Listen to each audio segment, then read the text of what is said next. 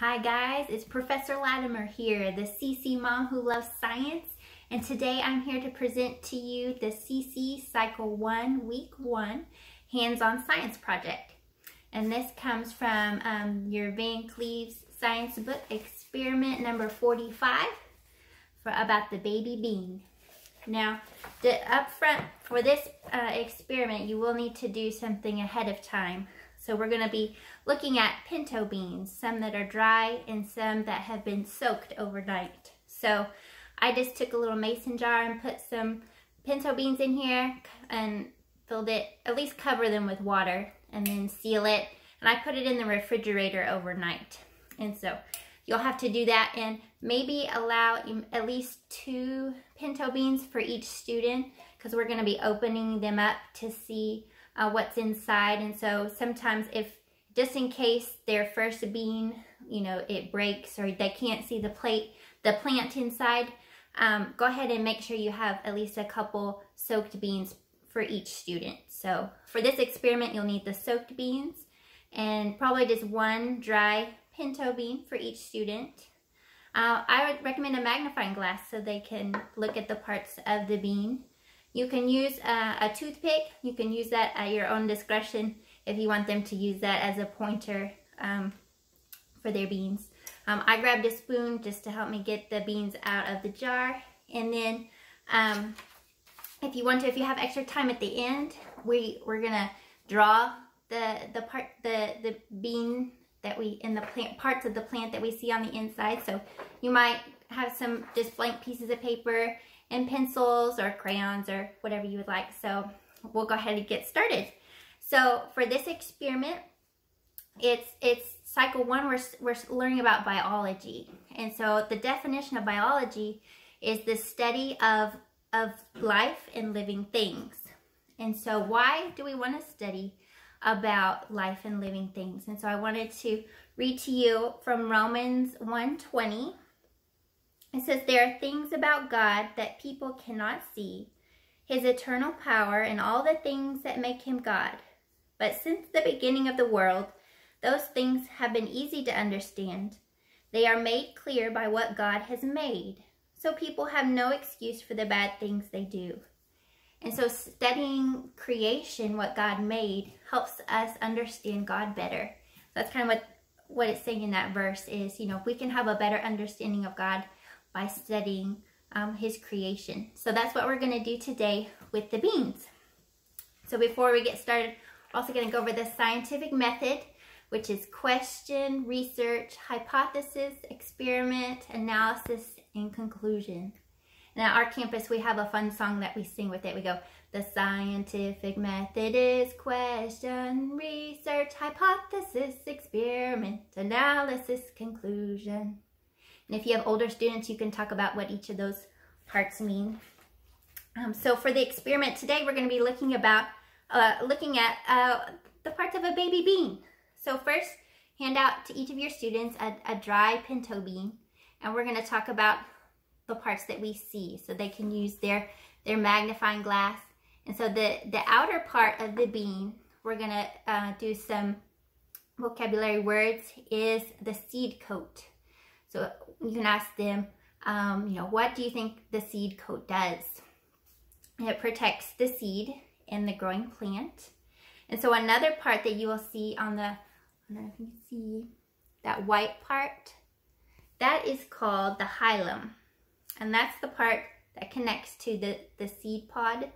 These beans grow in a seed pod, so that's where it connects. And then right above that white oval is a little dot. I'll hold it close. There's a little dark dot right above that. And that's called the micropyle. And that's a little hole where the pollen goes into the bean. So when it gets pollinated, and a little piece of pollen goes inside there and then it can grow into a baby plant. And so you can ask them, uh, the students, have you ever planted seeds in a garden? Or what do seeds need to grow and just ask them questions like that. And then, so after you look at the dry seed, we're going to look at one of the soaked beans. So I'm going to open that up here. Grab my spoon. Okay, I recommend having some paper towels on hand too so you can kind of dry off the water off the beans. Okay, so here's my soaked bean and here is my dry bean. So right away you can ask them some questions like what differences do you see? And so the soaked bean is a lot bigger than the dry bean. So you can ask, you know, why, question why, why did that happen? And so the, the water was absorbed into the bean overnight and made it bigger. So what we're gonna do next is we're gonna carefully take off the seed coat, that brown speckly part. So you can just use your fingers and just peel off the seed coat. It may not come off in one piece. But just peel it off. There you go. And you can have them examine the seed coat, maybe use their magnifying glass and see what it looks like when it comes off. And maybe test and see, you know, kind of pull it. It's actually pretty strong. So it makes a good protective covering for the seed, for the bean growing. Okay, now we're gonna look at the inside of the bean. And so we're gonna, on this curved side on the back of the bean, that's where you're gonna open it up so you can just put your fingernail. Mine opened pretty easy, so um, it should open pretty easy. Just be gentle and pull um, the pieces apart. We're gonna talk about what we see on the inside of the bean. And to help you with this, the, the VanCleave's book has a pretty good diagram of, you know, what the parts inside the seed are. I found this one online. Just I did like a Google search that the parts of a pinto bean. And so I might use that for reference. But one side, one side is just pretty smooth on the inside, but the other side has some baby plant parts and we'll talk about that.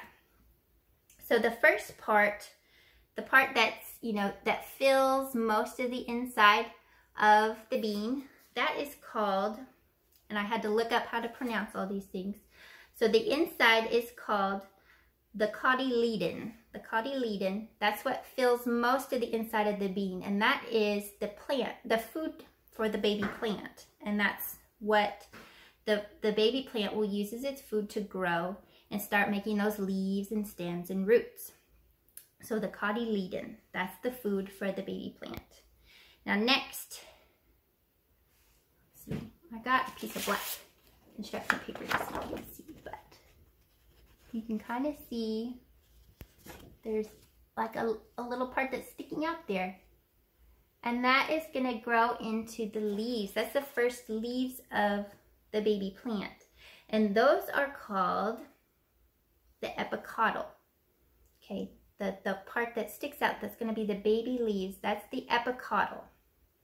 So right next to that, that's going to be where the stem, the first stem is going to be at the plant. And that is called the hypocotyl. I had to look these up. Hypocotyl. That's the first uh, stem that's going to form for the plant. And then farther back from the stem part is the radicle. And that's are going to be the roots of the baby plant. And so with your magnifying glass, you can see these all a little bit better. Maybe see this way. Can I see it there?